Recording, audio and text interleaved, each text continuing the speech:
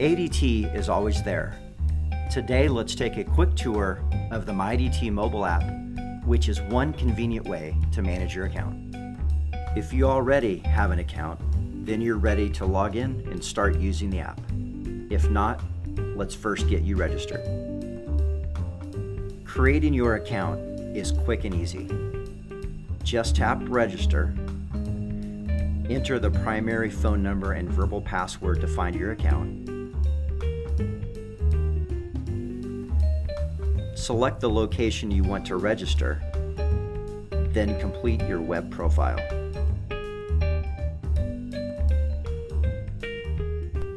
The login and password for the mobile app are the same as for the MyADT website. Upon login, you'll see the account dashboard. The dashboard gives you basic information about your billing, alarm contacts, and system information. If you manage more than one location on MyADT, you can switch between locations.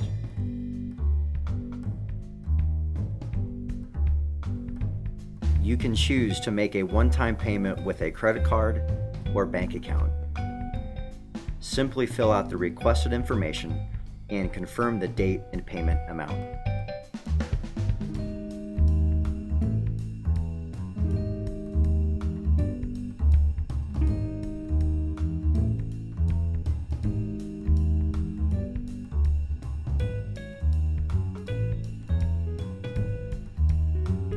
The Home button in the upper right will always return you to the dashboard from any location within the app. Enrolling or managing EasyPay is simple.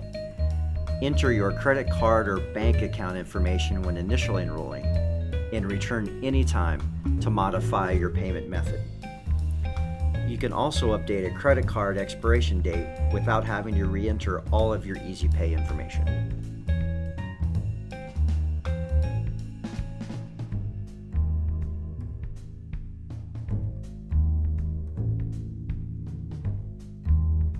Keeping your contact list updated is critical for your security.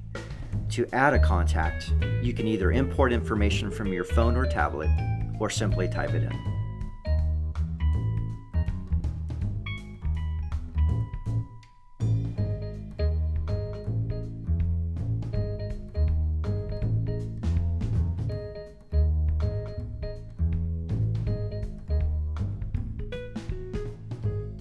Scroll down to the bottom of the dashboard to update your web profile. From here, you can make changes to your name, login settings, and security questions. If you are an ADT Pulse customer, you can easily access the Pulse app directly from the bottom of the dashboard.